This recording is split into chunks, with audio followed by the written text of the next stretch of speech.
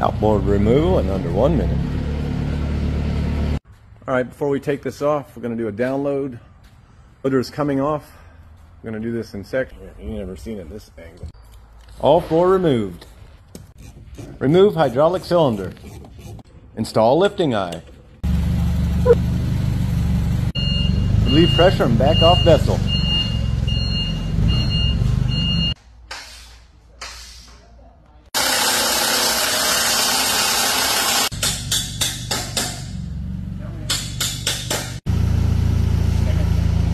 Make sure engine is secure and remove lifting eye.